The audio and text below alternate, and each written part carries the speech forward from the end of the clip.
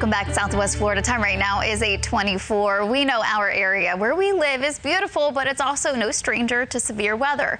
That's why we created this new series called Weather Questions with Lauren. We think it's so important that you and your kids are weather aware. We also want to encourage those young minds to keep on learning. So here is our weather question for the morning.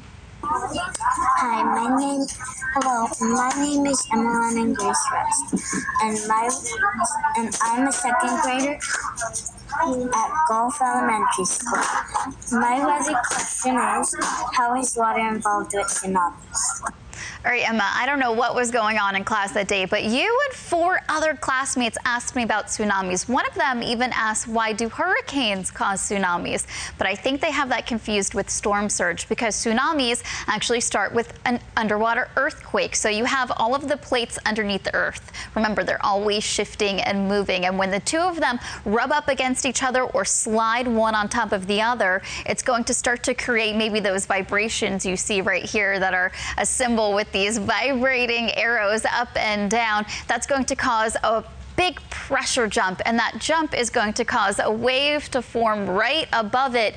And as that vertical push of seawater moves closer to shore it gets closer to shallow water and that helps that wave become taller. That wave we also know as a tsunami. Obviously a very dangerous type of severe weather. And when we start to see one wave it's not unusual to see multiple waves associated with this type of severe weather either.